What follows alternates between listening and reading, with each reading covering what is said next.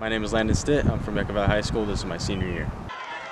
Yeah, so the last time we made it to CIF was 2019. I was a freshman, so it was a big difference being from the stands and actually being on the field and participating.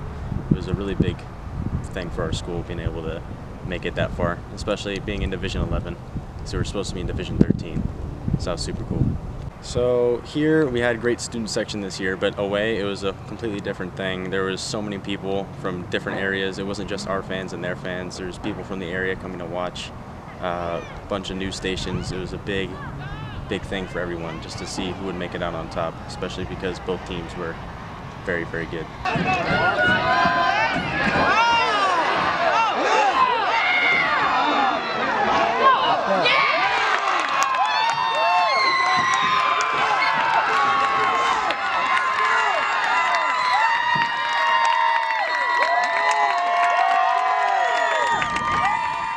The difference playing a CIF team compared to the teams that we are used to is they are much more respectful, they are much more conditioned, they are much more, they're just a better team in general.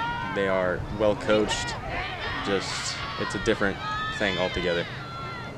Uh, this year was different because of the program being rebuilt. Last year it was COVID, we couldn't really do anything. This year it was a completely a complete reset. It was just much better. We were out here practicing. We had uh, the weight room available to us. It was much more organized, much better to play than it was last year. So next year I have really big hopes for our team. We're going to have all returning players. There's only five seniors missing, so we're going to have all returning offense, all returning defense. It should be another great year next year. Should make it just as far.